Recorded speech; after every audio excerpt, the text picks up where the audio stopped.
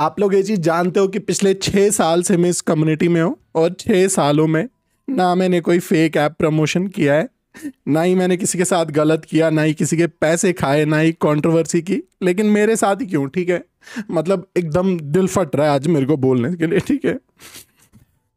पहले तो main channel पे बहुत सारी स्ट्राइक्स डलवाई, ठीक है? वो मैंने रिमूव की, मैंने कहीं पे कुछ भी नहीं बोला, ठीक है? मैंने कहा, जाने दो यार, कोई बात नहीं। है उसके बाद हर जगह गा लिया। मुल्ला है, तू मुस्लिम है। जबकि आज तक हम लोगों ने मज़हब के नाम पे कहीं पे भी नहीं बांटा किसी को, ठीक है? ना ही हम लोग भेदभाव करते हैं मज़हब को लेकर। फिर भी इतनी सारी गालियाँ। और आज मेरा इंस्टाग्राम अकाउंट भी डिलीट करवा दिया, ठीक है? पूरी तरीके से। मैंने कोशिश किया उसको रिकवर करने के लिए, लेकिन वो नहीं हुआ रिकवर ठीक है?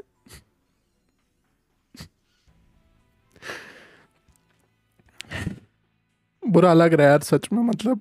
कुछ भी किसी के साथ गलत नहीं किया कभी और।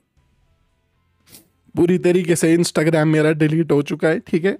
अभी मैंने नया बनाया बट कोई फ़ायदा ही नहीं है क्योंकि दस साल पुराना अकाउंट था वो। और दस साल बाद उसमें एक लाख सब्सक्राइब फॉलोअर्स कंप्लीट हो गए थे, ठीक है? नया बना के क्या फ़ायदा?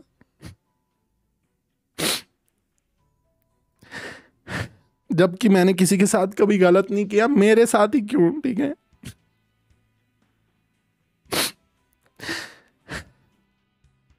बहुत बुरा लग रहा है यार, सच बता रहा हूँ। अगर बोल देते हो, मैं कम्युनिटी छोड़ देता हूँ, फिर ठीक है।